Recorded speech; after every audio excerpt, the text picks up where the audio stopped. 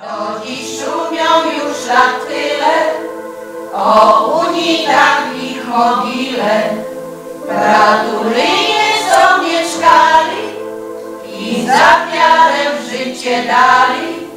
Gratulynie są mieszkali i za wiarę życie dali. 18. Powiatowy Przegląd Twórczości Artystycznej Dorosłych. Szanowni Państwo, gdy w 2002 roku rozpoczynaliśmy ten rodzaj imprezy, nie spodziewałem się, że dzisiaj tu w tym miejscu, w świątyni parafialnej w Rokitnie spotkamy się i co roku taką tradycją jest, że przegląd jest pod jakimś mottem, tematem. W tym roku nie miałem problemu, aby dedykować męczennikom z Protulina.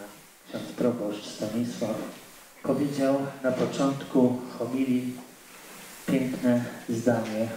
Łączy nas wiara, a w wierze jesteśmy jedną rodziną. Kultura jest piękna, kulturę trzeba pielęgnować i dbać o nią. Poprzez tego typu przedsięwzięcia staramy się, aby w naszej gminie rozpowszechniać to. I jeszcze raz powtarzam, cieszę się, że tyle zespołów zaszczyciło obecnością naszą imprezę. Wszystkim Państwu składam ogromne podziękowanie dla organizatorów, współorganizatorów. Życzę również wszystkiego najlepszego, miłego spędzenia popołudnia w gminie Rokitno, świątyni, w parafii Trójcy Świętej w Rokitnie. Jeszcze raz to podkreślę, pod patronatem świętego Jana Pawła II i błogosławionych męczenników Progresu. Wszystkiego najlepszego. Spójrz,